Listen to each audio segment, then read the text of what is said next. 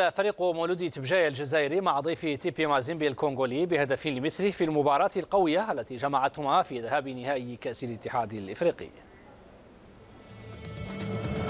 هكذا تزينت مدرجة ملعب مصطفى تشاكر بالبليدة بعدما امتلأت بأنصار الموب الذين حضروا بقوة لتشجيع فريقهم أمام توبويسون موزامبي زملاء القائد يايا اتفقوا على تقديم أداء مشرف في أول نهائي قاري لهم.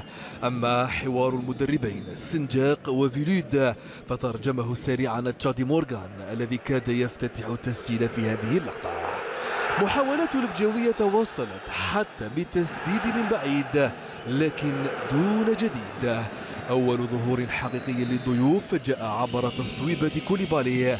التي لم تبتعد كثيرا عن مرمى الحارس رحماني.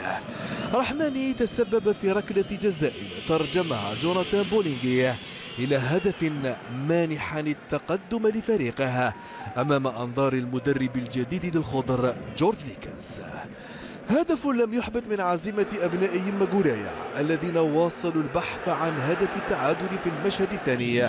فرص من الجانبين والكراب واصلوا دعمهم لزملاء يايا الذي وقع على هدف التعادل بهذه الطريقة الرائعة. جول من أروع ما يكون حتى في الزاوية اليمنى وكأنها بيده. هدف يايا رفع المعنويات من جديد وكاد اللاعب ذاته أن يضيف الثانية بعدما انفرد بالحارس في هذه اللقطة.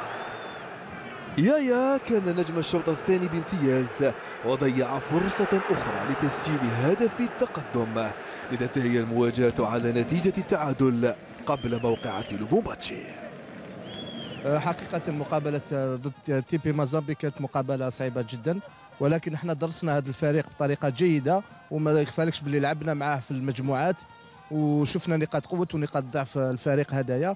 وحنا من أهم والأهم اللي عندنا اليوم كنا لازم نستحوذوا على الكرة وما نخلوهمش يعني ندخلوا في طريقة اللعب اللي يحبوها هما. ما يخفاكش باللي تي بي مازامبي من المتعودين من الكبار. حنا فريق مولودية بجاية فريق اللي راه يكبر. والحمد لله حنا رانا راضيين بالمردود تاع اليوم وراضيين بالأداء اللي قدموه اللاعبين تاعنا اليوم تحس باللي قدمنا مباراة كبيرة. تحس باللي إحنا إحنا اللي خدينا ثوب البطل ماشي تي بي مازامبي اللي عندهم الخبرة والتجربة في المنافسة الإفريقية.